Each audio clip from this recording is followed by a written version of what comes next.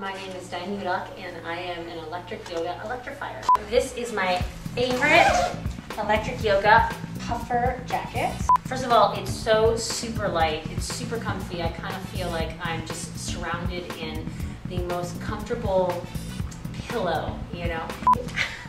Actually, I used to lead yoga class and I'd be really cold. Hello, surprise.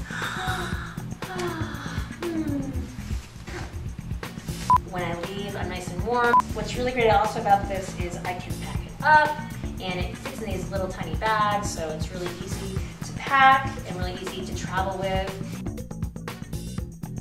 Talk about fun to wear and easy to travel with. I mean, come on. How handy dandy is that? And guess what? I really have to go actually